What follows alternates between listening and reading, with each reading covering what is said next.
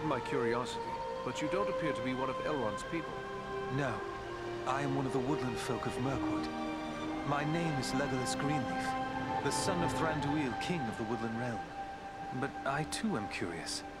You don't appear to be one of the men of Dale, nor one of the Beornings. I'm Eradan, one of the Rangers of the North, the Dunedain. Ah, one of those who follow Aragorn, son of Arathorn.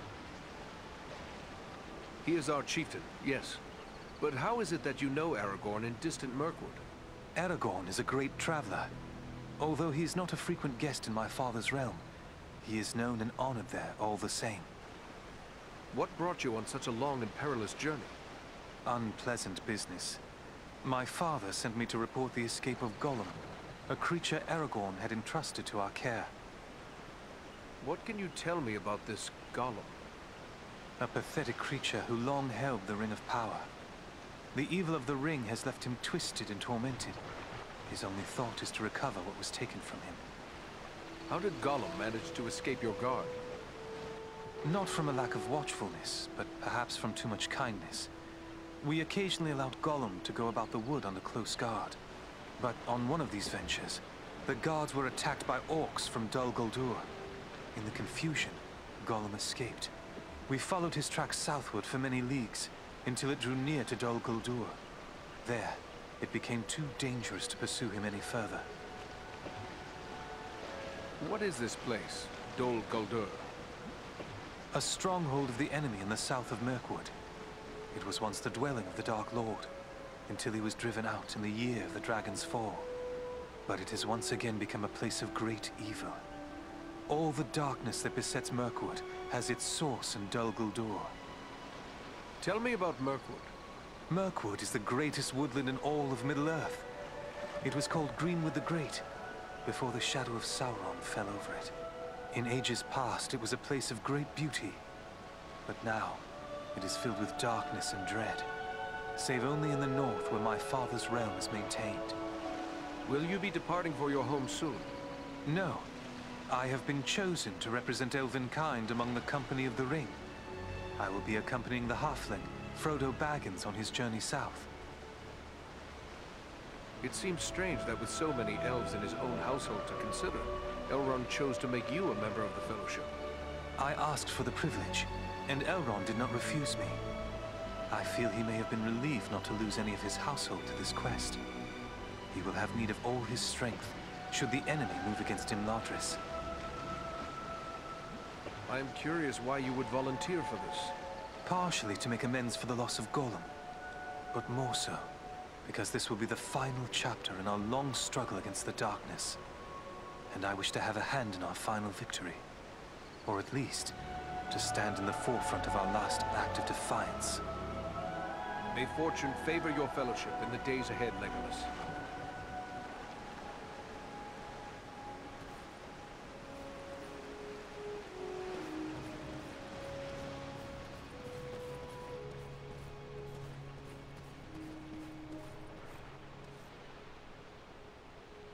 Welcome, Eradan. I suspected you would find your way here before long. What task are you working at now? My fellow smiths and I are preparing for a great work. Soon we will be called upon to reforge the legendary sword Narsil. In the meantime, I've been sharpening my skills by practicing the art of imbuing gemstones. What can you tell me of this sword, Narsil? Narsil was the sword of Elendil, a mighty lord of the Dunedain who defied the Dark Lord in the War of the Last Alliance. He bore the sword in battle against Sauron, but he was slain and the sword was broken. Since that time, the shards of the sword have been an heirloom of the House of Elendil. It was to remain broken until the day when an heir of Elendil would go to war to reclaim the crown and title of king. That day will come soon, and the sword must be made whole once again.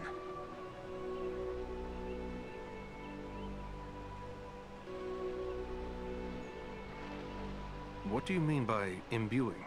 Simply that certain objects have inherent virtues, and a skilled artisan can, through his craft, increase those virtues and bind them to an object for advantage. Gemstones are very strong vessels for this process. Sadly, appropriate gemstones have become difficult to find. The growing trouble throughout the land keeps travelers away, and our own people are staying closer to home. Perhaps I can help you with that. I will be traveling soon. I would be pleased to have your help. I will provide you with a list of the types of gemstones that are of the greatest value to me. If you collect the stones, I am certain I could create something that you would find useful. But to be of use, the gemstones must be of the highest quality. Fortunately, we have as a guest a dwarf of the Lonely Mountain. Glóin is his name, and he is skilled in the appraisal of gems of all sorts. Once you have gathered the stones, allow him to examine them. He'll know if they are suitable.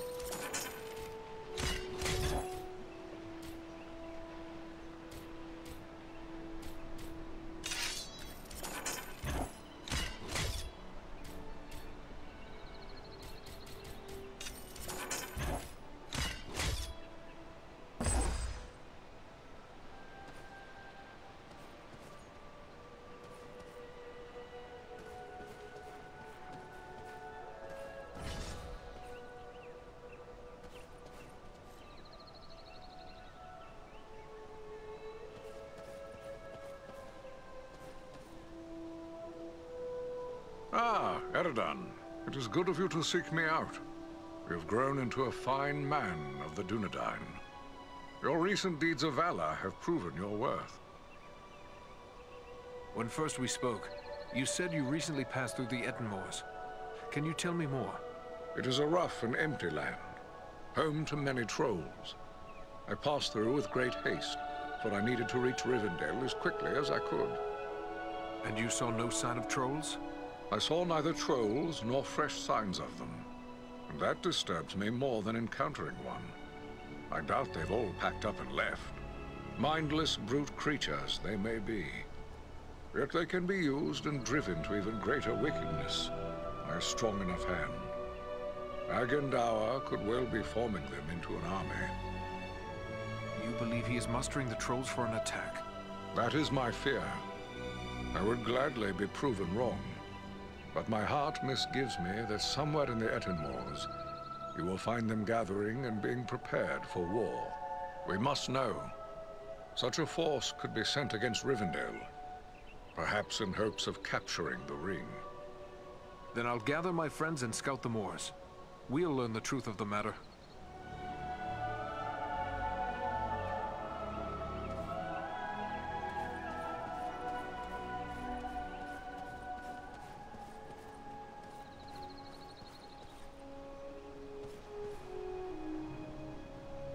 Sun shines and all is fair and peaceful here in Imladris.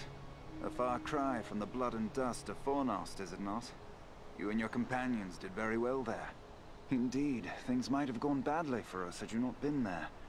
You have earned some time to recover from the toils of battle and hard travel. And I believe you will find no place better for the restoration of body and spirit than this, our home. I may be in need of a few things before we set out. Is there anyone I can speak to about that? If it is provisions or other supplies you need, you should speak with Allari. And if your arms and armor need tending, seek out Angmir. Both of them may be found nearby. How was it you happened to be at Fornost? We often ride far afield hunting the orcs, wherever we may find them. We came upon signs of a large band of goblins making their way from the orc hold of Mount Gram and followed their trail to Fornost, where we lost no time in attacking them. Aragorn frequently travels and fights beside you, does he not? Yes, we often venture forth in company with the Dunedain, and none more frequently than Aragorn. He was raised here in our household, after all. I wish you luck. Goodbye.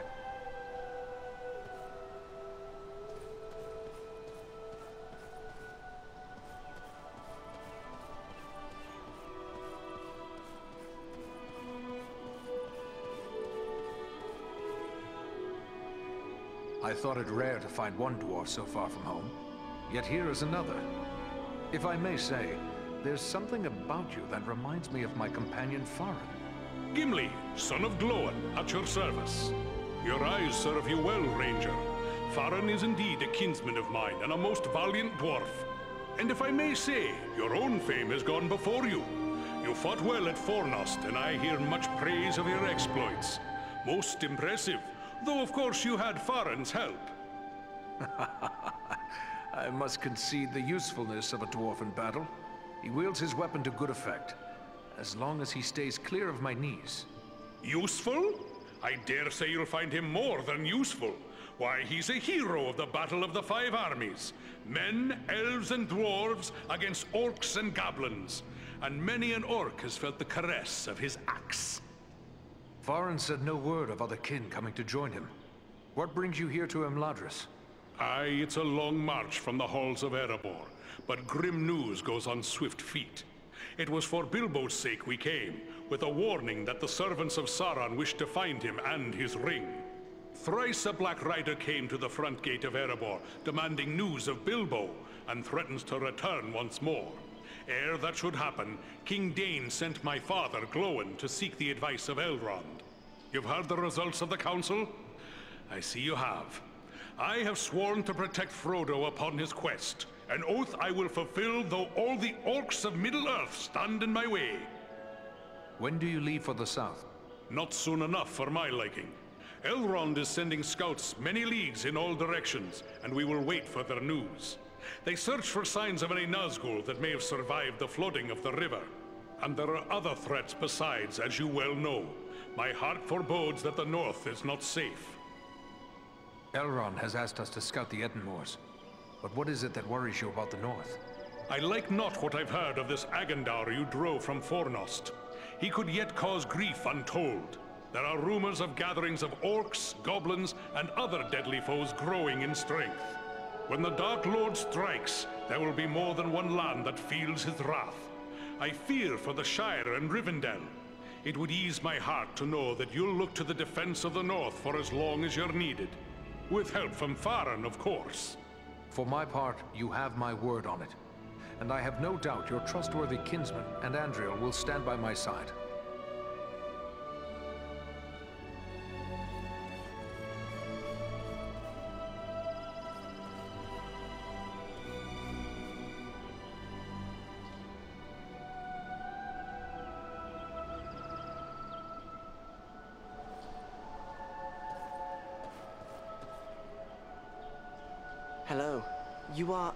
Aren't you?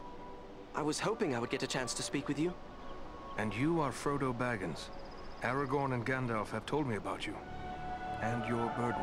Likewise, they have told me all about you. I wanted to thank you and your friends for all you did to keep us safe on our journey to Rivendell. You are most welcome, Frodo. It is only now that we have learned just how important our task was. I am pleased we were able to help. It seems as if I owe everyone thanks. You, Aragorn, Elrond. Without the help of each of you, I wouldn't be here now. Will you tell me about your journey here? Clearly, it was not an easy one. We had trouble almost from the start. The Black Riders were always just behind us, and we nearly met disaster in the Barrow Downs, at Bree, and again at Weathertop. Anyone who travels far in the wild is certain to find peril. These are dangerous times. I've learned that only too well. I had hoped the danger would end once I reached Rivendell, but it seems as if it is just beginning. I hope I can find the courage to face the road ahead. I have a strong feeling you will. In the meantime, you should rest and recover your strength.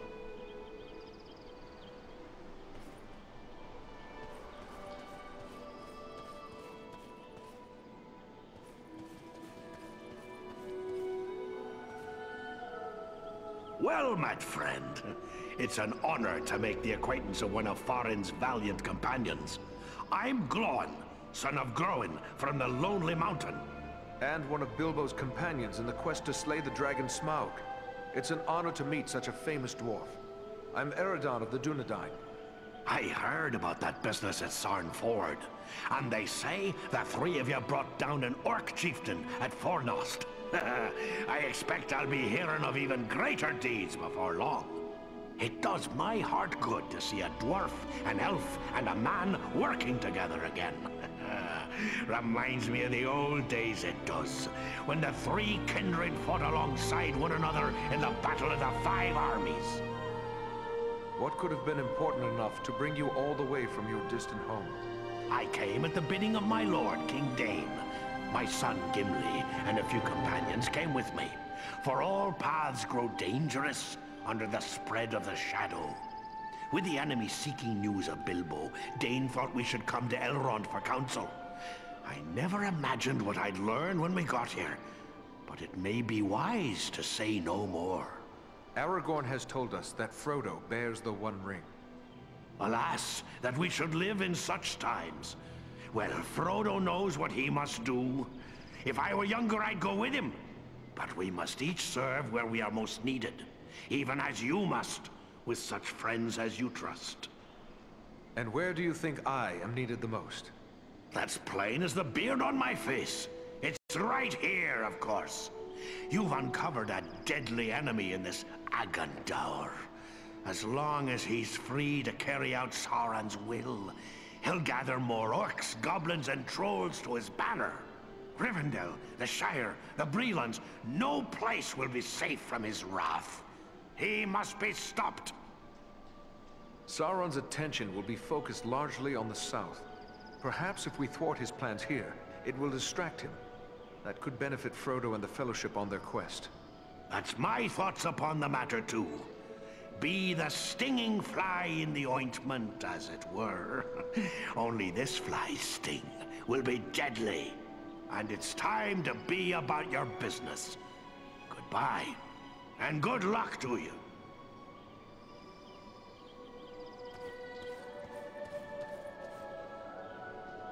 Welcome, Dunedain. Welcome to Imladris. Are you in need of anything to help you in your travels? I have many things in my keeping that might serve you well.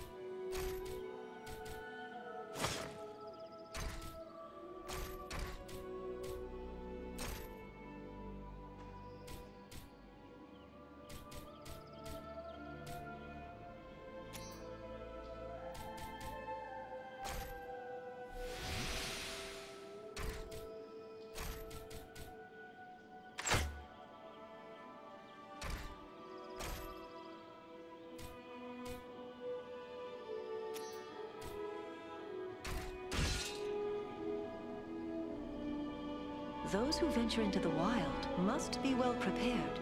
Examine the goods Imladris has to offer.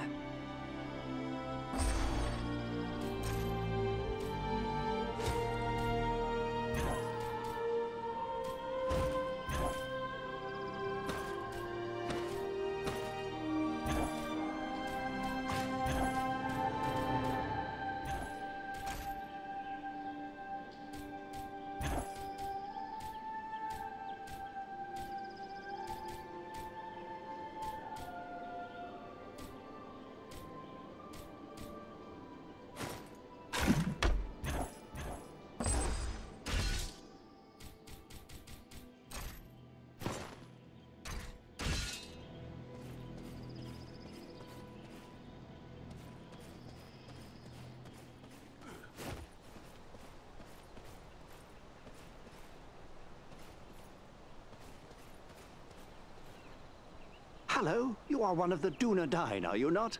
Please allow me to introduce myself. Bilbo Baggins at your service. Eradan, at yours. Always happy to meet one of the Guardians of the North.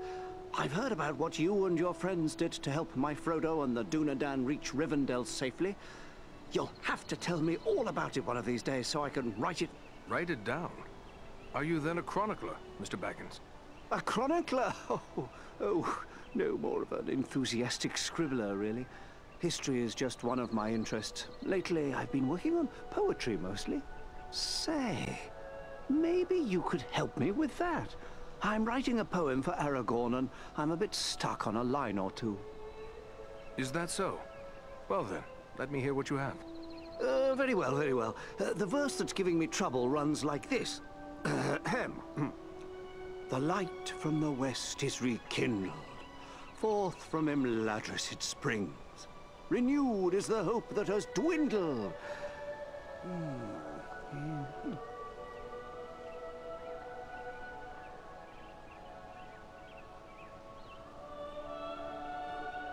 The light from the west is rekindled. Forth from Imladris it springs. Renewed is the hope that has dwindled. The scion of Westernesse kings. Why, yes, yes, that's just the thing, isn't it? oh, my friend, you should consider exchanging those weapons of yours for the poet's pen. One day, perhaps. But for now, we have more need of warriors than poets. Oh, I'm afraid you're right, but since these old hands are not much use with a sword, I'll just keep on with the pen. Though I'll need some help. Perhaps you could show this to the Lady Arwen. She has her people's gift with words, and this touches her deeply after all. Arwen? Who is she? Why, she's Elrond's daughter, of course, and Aragorn's beloved as well. Although you didn't hear that from me, she's a sweet lady, and I'm sure she'd be willing to give me a hand with this. I will take it to her. Ah, thanks very much. Uh, be sure to give her my compliments, won't you? I will indeed. Farewell now.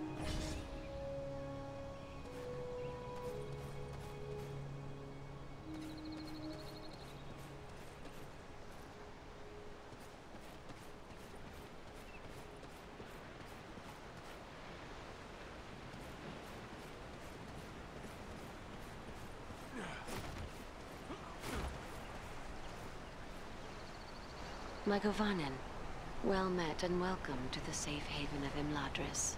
Mae govannen, Lady Arwen. It is a great honor. The Dunedain are always welcome here. You have endured great danger and given us urgent warning of a new threat to the north. For this, we honor you, Eradan. It is my duty as a ranger, nothing more. I am glad to be of service to my Lord Aragorn. You show the modesty worthy of a hero. Estel and my brothers have spoken highly of your courage at Fornost, and I thank you for your part in seeing to my brother's safe return. Please, take your ease and rest a while in our halls. You will find all your heart could desire, whether it be food, drink, song, or storytelling.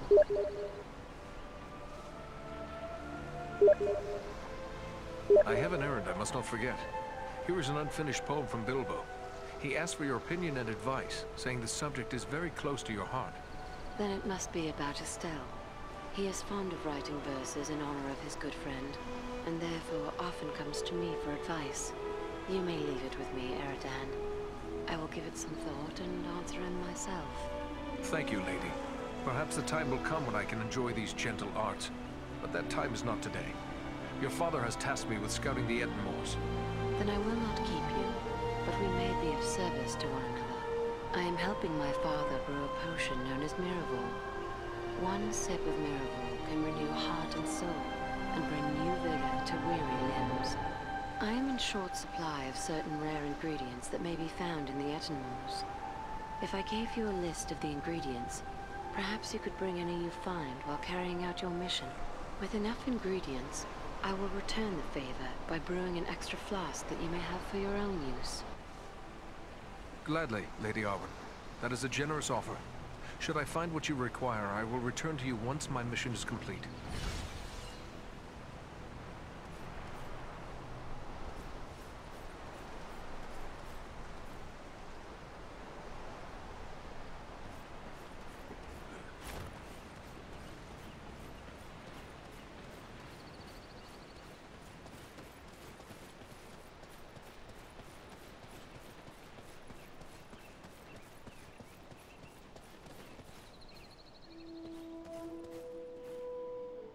Greetings to you, Eradan. I am pleased to welcome you to my home. I had heard your name spoken with praise by Aragorn even before these recent events. You have more than proven the value of his judgment. The Dunedain are often our guests here in Imladris, but I would be pleased if you would consider this house as your home whenever you may have need of it. But I gather you are here for more than an exchange of pleasantries. Do you have questions for me? I found this scroll at Fornost. I thought it best to bring it to your attention. A wise decision. This is writ in the black speech of Mordor, a language I will not utter here. It is intended to instruct the reader in the use of dark sorceries. We encountered orcs at Fornost who used spells against us. Then it seems this has already been put to use. That is grim news. The Dark Lord is a master of necromancy and other foul sorceries. He has taught these abominations to men in the past, but never, to my knowledge, to orcs. Another weapon in Sauron's hands. What can we do to prevent this evil from spreading further? I will destroy this scroll, at the very least. But wait, here I discover more. Listen to what is written herein. Scribed by the hand of Agandaur, disciple of the great Lord Sauron, for the empowerment of his servant Wulfren and those others of his faithful who prove worthy. I will speak no more of these blasphemies, but it does say that this scroll is one of seven such works. So six more remain. Perhaps we can capture them as well. That would be a great service to our cause. Should you recover them all, bring them to me, and I will ensure they are destroyed. I will be certain to do so. In the meantime, please accept this in appreciation for bringing this matter to my attention. Perhaps it will be of service to you in your travels. There is something else. I found this tome hidden amid the ruins at Fornost. It appears to be quite old. Ah, now this is writing of an altogether more wholesome sort. This was not made by any minion of Sauron, but rather by the men of Arthedain, likely before the fall of Fornost. The pages are too worn and the writing too faded for me to make out much. Perhaps you can discover more. Indeed. It seems to be a personal journal.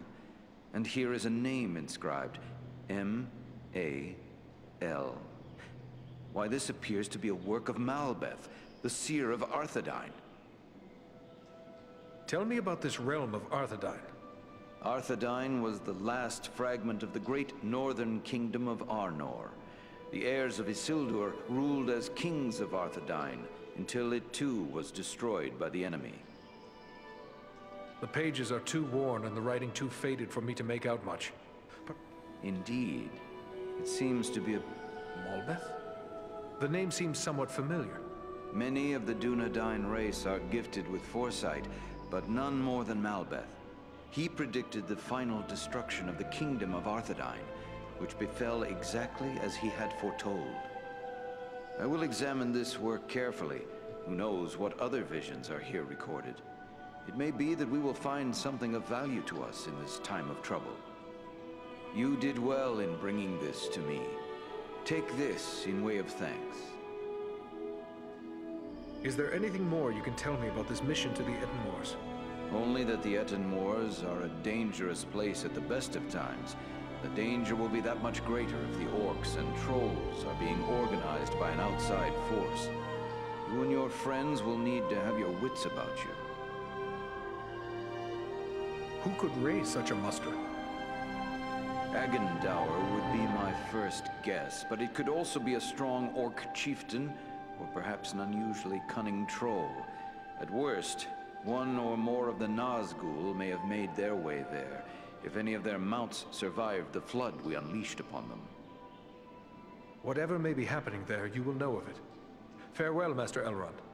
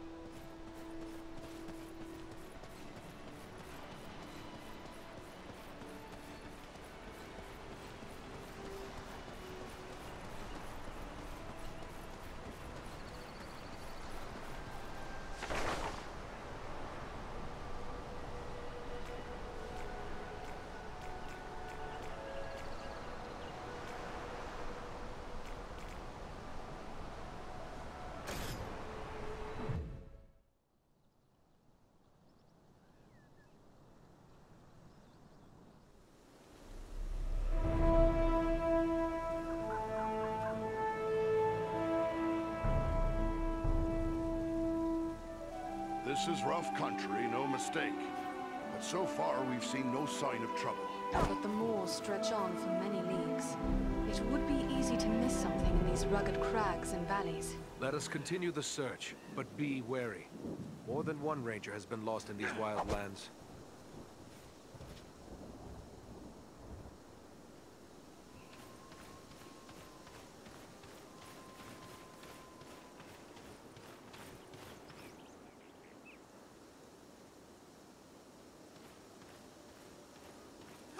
Creatures!